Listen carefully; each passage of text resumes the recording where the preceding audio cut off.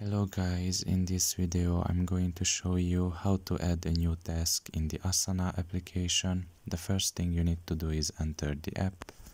After you are done with that and you are in the home page, you should look down below and select the second option which is My Tasks. And here you can see in the bottom uh, right corner the Add New Task option. Press on it and you can just enter here the uh, task name again enter here the task name and basically the uh, due date. So until when I have to do it press done.